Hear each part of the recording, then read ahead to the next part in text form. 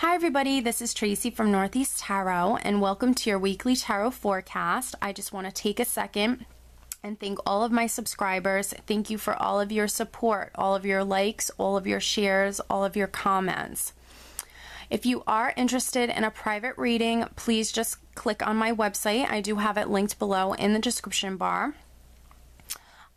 Lastly, I am on social media. So I am now on Facebook. If you're interested in liking my page on Facebook, please do. I am also on Instagram. And if you are interested in receiving a daily Oracle guidance message, I do draw and upload a daily Oracle guidance card every single day to my Instagram account. So if you're interested in that, then please head over and, and follow me on Instagram. Oh, and, and one last thing. Um, for these general tarot forecasts, you should always be sure to watch not only your sun sign, but also your moon sign and your rising sign. If you happen to not know what your moon or rising sign are, I do have linked in the description bar below a website that actually can calculate that for you for free. So I wish you all a wonderful week. Just stay tuned for the reading. Hi Aries, this is Tracy from Northeast Tarot and welcome to your weekly tarot forecast for the week of June 20th through the 26th. This is for Aries Sun, Aries Moon, and Aries Rising signs.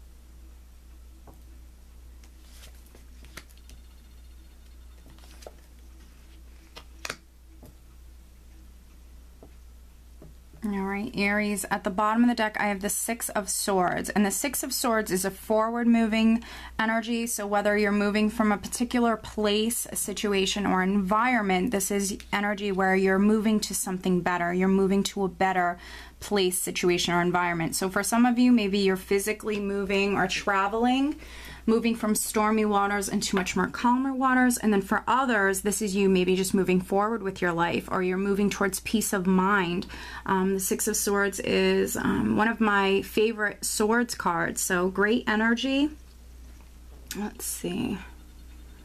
And I'm definitely feeling like you're you're seeing a lot of progress this week, Aries. There's a lot of progress happening for many Aries this week. Um, the overall energy is the Five of Swords.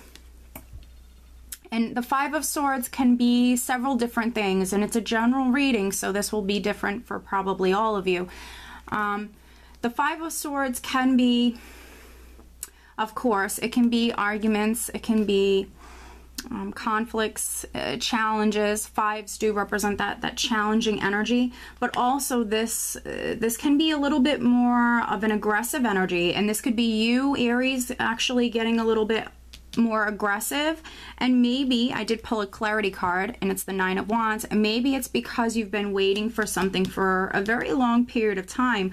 When I see the nine of wands it's telling me that you've been kind of holding out for something or waiting for something for a very long period of time. And you're actually exhausted. You're you're tired of waiting. This is you still sticking it out though, still persevering. So we could have this energy here for some of you just because you're getting a little aggressive.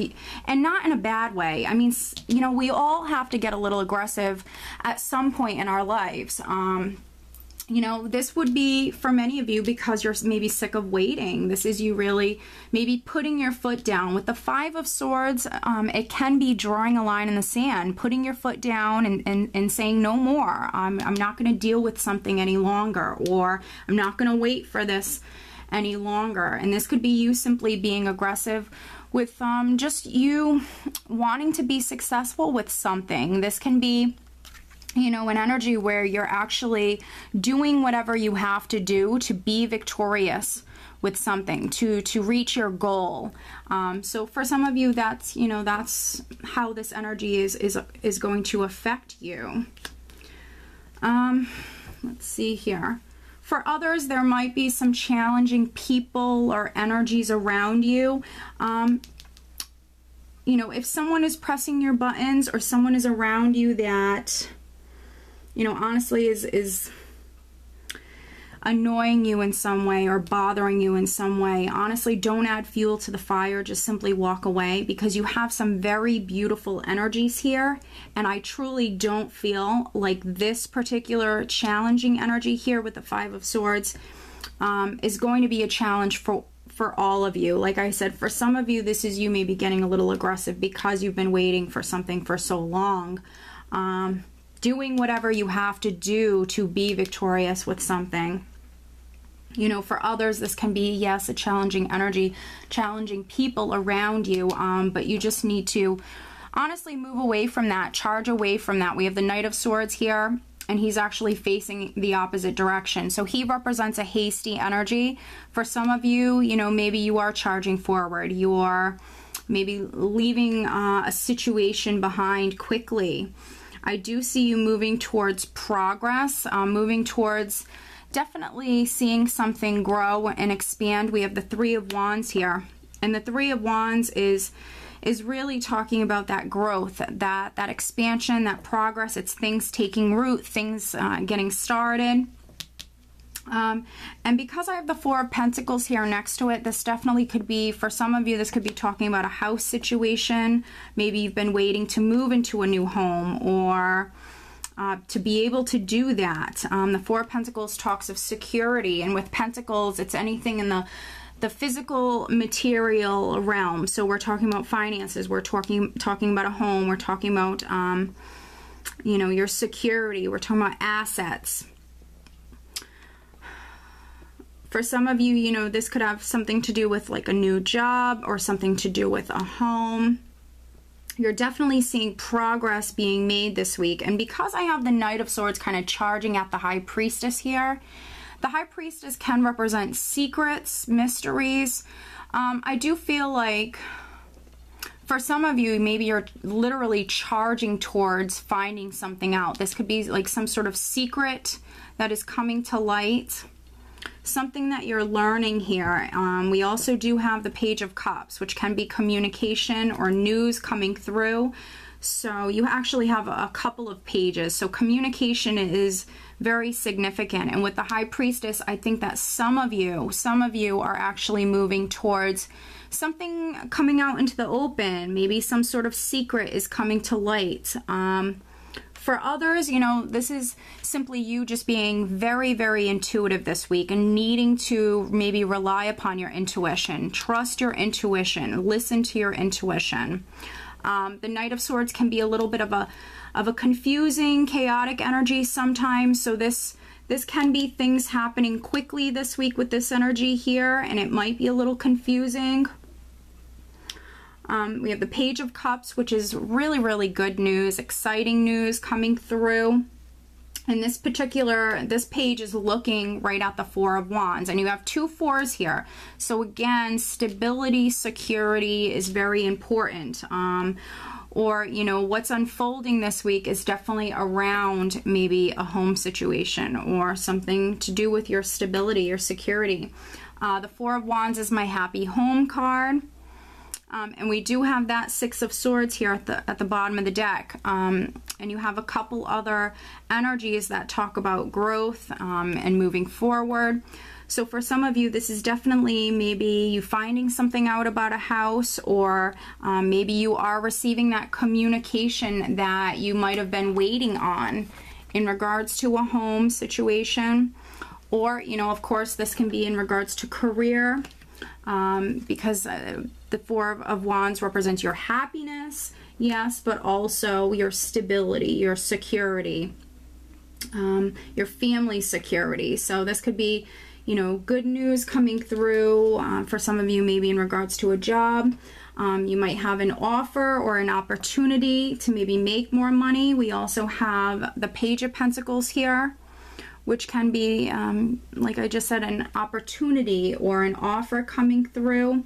Um, if you've been waiting on an offer for your house, this definitely can be an offer coming through in regards to your home because we also have death here and death is great change great change that's taking place this is transformation and this is a very very powerful energy so we have this great transformation that that's taking place this week. So, you know, something old in your life is no more. So something is ending so something else can begin. And, you know, this is an energy that will show up when we are moving to a new home because, you know, the place that you were resi residing previously is no more. It's coming to an end. Um, and then you are moving to a new home and and that's that beautiful new beginning with the death card there's always a new beginning so for some of you you know that's exactly maybe what's unfolding for you this week um, maybe you are uh, moving to a new home you're moving towards peace of mind maybe this is going to be if you are moving to a new home new home this could be you know, a place that you live at for many years to come. Um, with the Four of Wands, it talks of longevity, something lasting for a really long time. Um, let's see. For some of you, you actually might be going back to school. You might be taking some classes. Um, you know, I'm definitely getting like a learning energy here. You might be learning something. Um, maybe, you know, within your career, you have to go and take some some classes. Um, whatever this is, no matter if you're going back to school or maybe having to take some classes, this is actually really good for for you financially. This is really good for your family and this will add if you are taking classes, this will add you know, a lot of security to your life um, in some way. Maybe because of these classes, you're able to maybe move into uh, a higher position. This is definitely adding security and stability to your life. Um, so lots of just extremely positive changes. You are moving towards peace of mind. Um, again, not everybody is going to experience uh, the Five of Swords in like a negative way. For some of you, this is you just sick of waiting. Honestly, this is you being a little bit more aggressive. You're sick of waiting um, and you're just charging forward with this Knight of Swords here. Um, and for some of you, you're maybe charging towards finding something out. Um, we have lots of communication coming in this week. But overall, I think it's honestly, it's going to be a great week for you. Uh, you might be spending a lot of time with your family this week. Financially, I think it's going to be a great week. Emotionally, I think it's going to be a great week. I do think, Aries, though, that you're going to be incredibly intuitive. Um, you have some very intuitive, um, you know, characters here, and I do think that the energy around you I do think that you're going to be incredibly intuitive this week, Aries. So let me draw you an additional guidance card. Okay, wow, Zana just popped out. You are protected from all types of harm. The worst is now behind you. I ask you to relax and feel safe. Very nice, Aries. Beautiful. And this really resonates with the rest of the spread here. You are protected from all types of harm. The worst is now behind you. I ask you to feel safe, to relax and feel safe, Aries. You are moving towards peace of mind. We have this great change, this great transformation taking place. I see lots of happiness surrounding you along with you know stability and security and maybe things that are taking place now aries within your life are actually going to last a very long time so i do hope that you found this reading helpful and i hope you have a great week take care